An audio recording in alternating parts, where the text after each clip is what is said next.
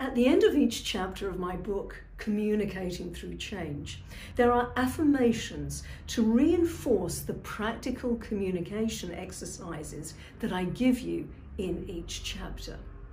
One of those affirmations is I take one day at a time.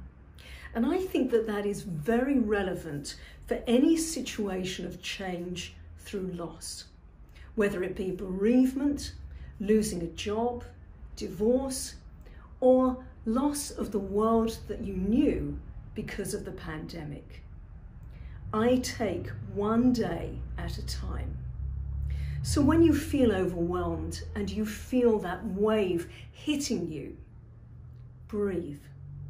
Take your time to accept, to acknowledge, and to move forward in your time. I take one day at a time.